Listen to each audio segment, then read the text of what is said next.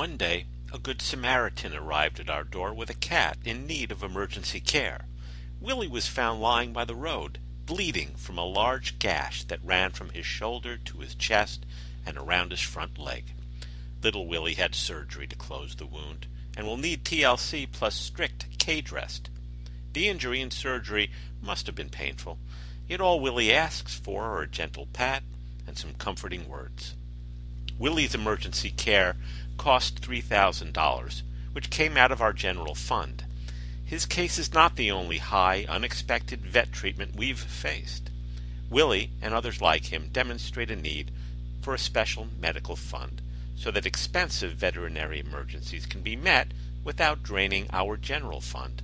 Help us launch an emergency medical care fund for all the cats like Willy who show up at our door in dire need.